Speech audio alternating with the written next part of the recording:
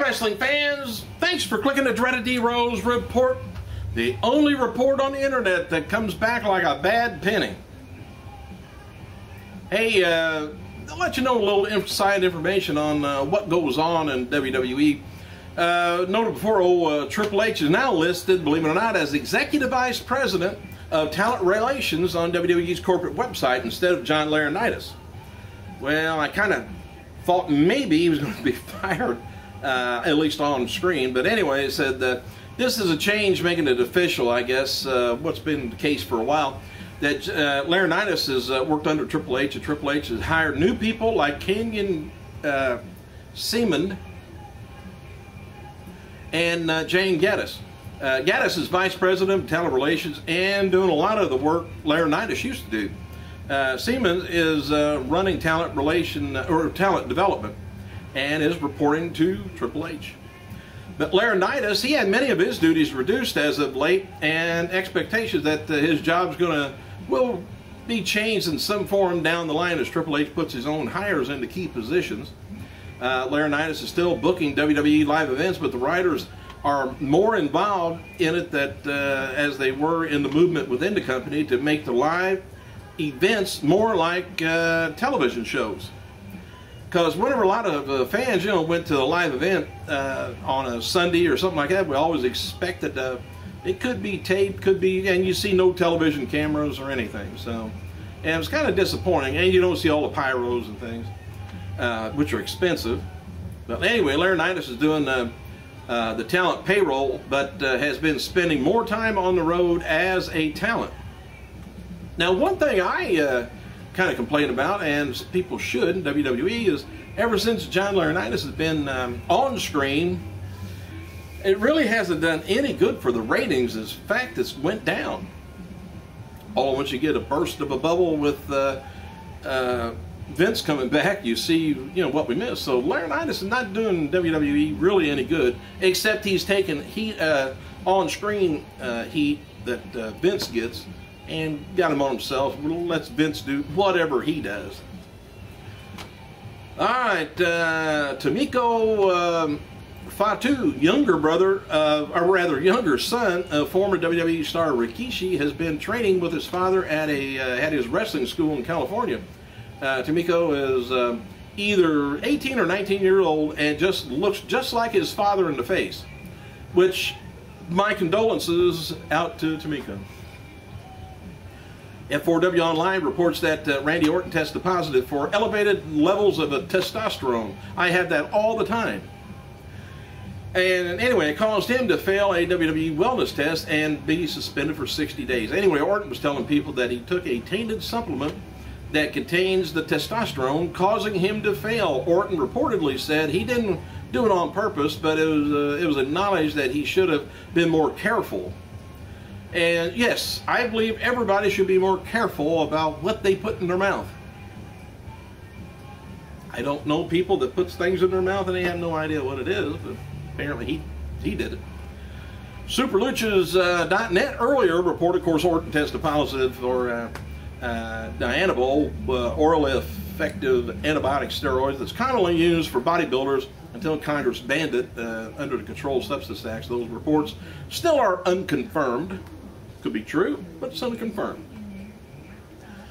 While some of the best talent in FCW, like Seth Rollins, Antonio Cesaro, um, Kassius Ohno, uh, Dean Ambrose, came from the independent scenes, there's belief that the independent scene is not producing enough talent with WWE potential.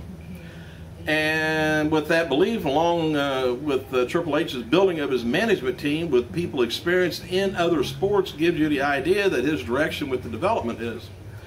Uh, he's also uh, there going to, with the idea that sign up top level athletes and teach them to be wrestlers will develop a kind of marquee type guy that could be superstars. Now, I still say they always got on Vince uh, because he always wanted the big built guy, the muscular, the monsters, the it's true though. That's what we want to see. I like yesterday. I said, well, you want to see this guy on the street out here come in, he may be the best wrestler in the world, but he's not attractive. Not looks like, but he's not attractive. You don't see my ass on there every day uh, wrestling, and anyway, that ought to prove my point. Hey, WWE's trying to open a relationship with the U.S. Olympics team so they can have an in for progressive, uh, prospective uh, Olympic athletes who either don't quite fit make the team or uh, those that do well but are in other sports uh, that there's no professional leagues on. So they want to get in there and snatch somebody up that don't make it. All right, where was I? WWE is trying to open a relationship with the Olympics. I was telling you that the uh, committee, uh, so they can have it in for prospective uh, Olympic athletes uh, who either don't quite make the team or those that do well but are in sports where there's no professional leagues at. So they just want to they want to find the, the, biggest loser too, so they can get them up. And WWE going would be interested in, of course, wrestlers, but they feel that they would be making uh, they would uh, they're interested to make a star out of let's say weight men. Uh, such as shot putters, uh, disc throwers, you know, the Olympic weightlifters and stuff, which could be a good deal.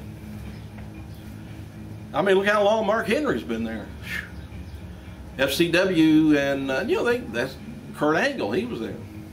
FCW brought in about 23 to 35 athletes this past week. Some with experience as uh, independent wrestlers, but mostly you know successful college wrestlers. So maybe they're looking uh, for wrestlers to be doing some wrestling. Wouldn't that be nice? Anyway, uh, that they were recruited by Gerald, Gerald Brisco uh, the wrestlers were told if they signed with WWE, they would be, you know, value. Uh, they would value them more if they continued and finished their studies in college, as opposed to quitting school and starting developmental right away. But WWE's hurting. Get them. WWE's still talking about doing some uh, tryouts in foreign countries such as the UK and Australia people in FCW have been told that the developmental is changing for the better with different structure and a different schedule. There's some uh, concern at FCW about uh, what's happening since old Tom Pritchard was released and head uh, as head trainer. Uh, no explanation on his departure was ever given there. Under Triple H, the idea is to structure the entire developmental process and talent relations like WWE is a major sports company. Uh, duh, you are. What? Sports? Where'd he get that word from? I thought it was entertainment. And as noted before, I hate this. Kelly Kelly has taken some time away from WWE, but some of the people did not expect her to return. The ATA agency uh, that represents Kelly is uh, pitching her for scripted TV shows as well as a potential reality show, which I wish they would get over that reality show crap. Of course, with her, it could be good. Kelly uh, also uh, has offers, you know, for her to come away uh, from high, from placing high on the Maxim 100 list this year. That helped her out a ton. And notable that WWE didn't give her a full contract release, but they aren't thrilled that uh, she has, you know, someone else pitching for her uh, outside gigs.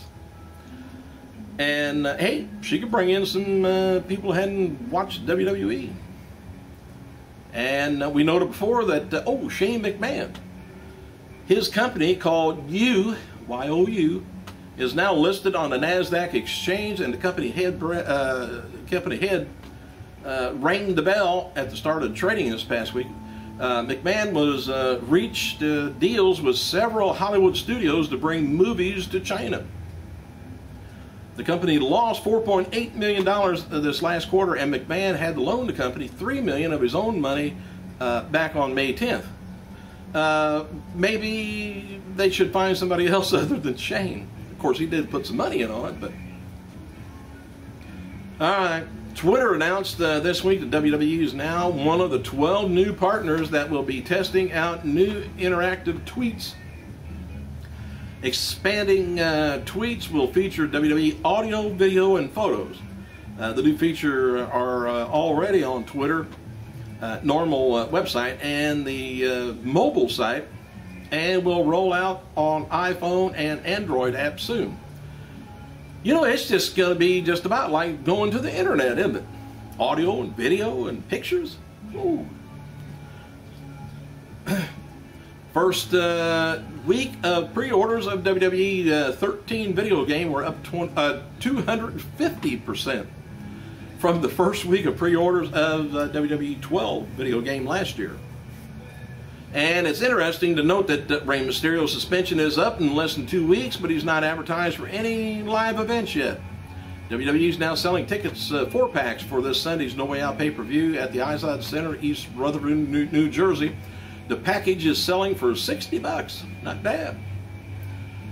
I don't know where you're going to be watching the show at, but mm, if you got a binoculars and telescope, you might be all right. Uh, John Cena is being announced at the World, uh, see, Wizard World uh, Chicago Comic Con uh, on Thursdays, October 9th. Please make a note of it at the Donald Stevenson Convention Center in Rosemont, Illinois. Cena is going to be appearing with fans uh, probably about 4 o'clock to 8 p.m. Punk's going to be appearing the same convention on the 12th of August, uh, 2 p.m. And other wrestling stars, including, including Booker T, Lita, John Morrison, Kevin Nash, Maurice, and Melina. Mark Henry recently spoke with uh, uh, Kevin W. on Hot 93.7 about his retirement plans and more and they're on the internet. So I'll let you look. Hey, the release of uh, The Taker, Undertaker, Streak on July 24th in North America and in August overseas is the content's going to be the first disc is going to be The Beginning, The Dark Days, Badass, Dead Man Returns, Championship Level, Streak, uh, streak versus Career, End of an Era, and The Streak. That's all on disc. And normally it's right at two hours long. Uh, this too is going to be him taking on. It's starting at 91. Just name on who they're who he's taking on. Superfly Snuka, and then Jake the Snake Roberts, uh, Giant Gonzalez, uh, King Kong Bundy, Diesel, Psycho Sid, Kane, uh, Triple H, um, Big Boss Man. This three is going to be Nature Boy, Ric Flair, uh, Big Show, and A Train. He, uh, oh, Kane uh, Randy Orton and Mark Henry, Batista, Edge, this four, Shawn Michaels, Shawn Michaels, Triple H, Triple H. Blu-ray edition is going to have extra on there. Uh, it's going to be uh, Edge uh, history package and take a well history package on Shawn Michaels career history package. It says um, Triple H history package. I don't know. And they also have the streak in pictures. Uh, if you want to know anything else, hell, buy the thing next month. Thanks for clicking, you guys. I gotta go.